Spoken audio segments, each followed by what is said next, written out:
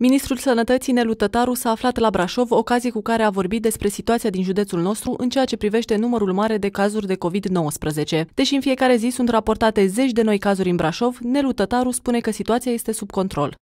Este o situație stabilă. Am discutat astăzi cu managerii de spitale, fiecare dintre ei a prezentat o situație la zi cu ce înseamnă uh, infectați, ce înseamnă internați în unitatea medicală respectivă, câți mai sunt prezenți, cât sunt cu o patologie severă.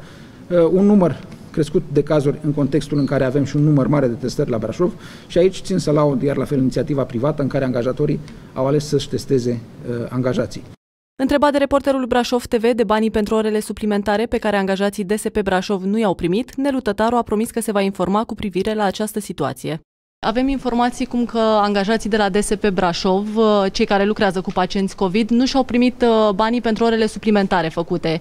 Deși în țară am înțeles că nu, nu ar exista această problemă. Uh, este o problemă pe care am văzut că a constatat-o Curtea de Conturi la anumite DSP-uri. Acum depinde și numărul de ore suplimentare, dacă a fost depășit sau nu.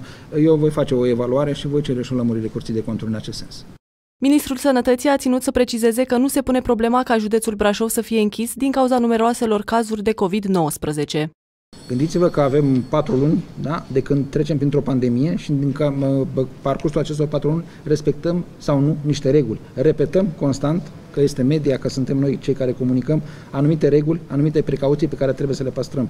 Nu credeți că, cred că mai bine ar fi să păstrăm toți, să menținem toate aceste reguli, decât să ne temem de anumite zone sau să dăm diferite zvonuri, se închide Brașovul, se închide Valea Prahovei, se închide Vama Veche, se închide litoralul. Nu se închide nimic. Mesajul Ministrului Sănătății pentru cei care nu cred în existența acestui virus a fost unul foarte clar. Să vină alături de noi prin spitale, să vadă într-adevăr suferința, să vadă suferința celor care și-au pierdut pe cineva drag, să vadă personal medical infectat, care tocmai acest lucru îl făceau. Îi tratau pe cei care odată nu au crezut.